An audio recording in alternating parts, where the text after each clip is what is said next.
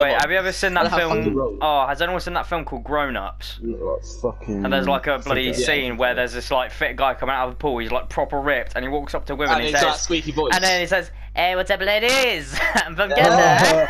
oh, yeah. They just start pissing themselves. Yeah. That's what's gonna happen to Josh. He's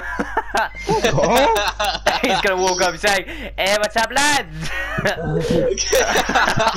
Hello lads, are you there? I've been at the gym. You like? What the fuck is the step? I've been at the gym. You like? I'm going to send you to the John Radcliffe. you like? You like? I take a trip in my Corsa to John Radcliffe Hospital. You go Headington. You like? You want Do you know Domino's? what, Kane? You want little Frank, girl, you- get in my I Corsa. fucking enough of your shit. You want you off my pretty lady, get in my Corsa. You like? You are a little girl. Get in the car. oh, You just finish your swimming lessons. Get in Corsa, you know. Uh, Little girl, get in the car. I shouldn't have started. This Fuck is yeah, you said bad. African. Half that. Ah, Get in the car. water in this jar. So far, Little he is girl, hurt. get in the car.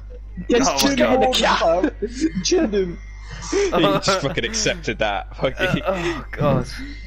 Oh. To be fair though, Joe, what the fuck was he supposed to do? I'm well happy with that joke. Get in the car.